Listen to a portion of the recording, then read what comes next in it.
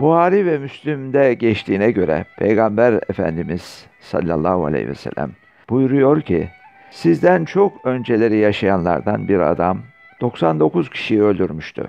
Biraz pişmanlık duyunca o yöredeki en mühim alimi araştırdı. Ona bir rahibi tavsiye ettiler.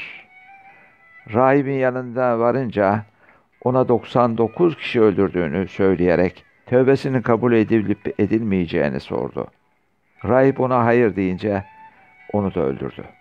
Böylece öldürdüklerinin sayısı yüze ulaştı. Arkasından tekrar pişman olup yine o günün en büyük alimini sordu.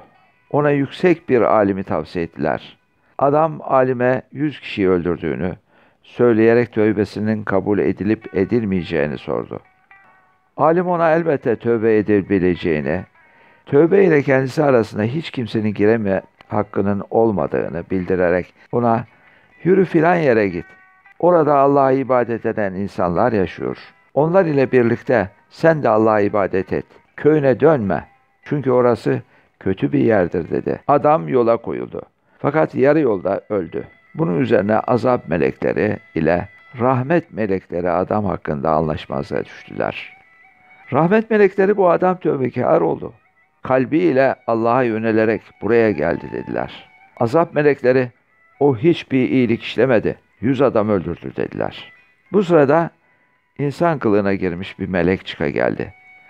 Rahmet ve azap melekleri onun anlaşmazlıklarını çözmek üzere hakem kabul ettiler. İnsan kılığındaki melek her iki mesafeyi de ölçüp karşılaştırın. Hangi tarafa daha yakınsa o tarafa ait olsun dedi. Mesafeleri ölçüp karşılaştırınca varmak istediği yere daha yakın olduğunu görülerek onu iyilik melekleri götürdü. Diğer bir rivayete göre hadisin son kısmı şöyledir. Adamın ölüsü iyiler köyüne bir karış daha yakın olduğu için iyilerden sayıldı. Başka bir rivayete göre hadisin bu kısmı şöyledir.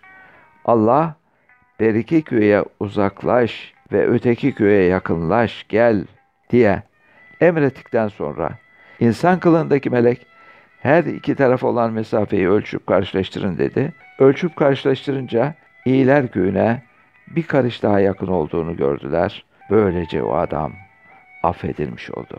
Demek ki iyilere yakın olmak gerekir.''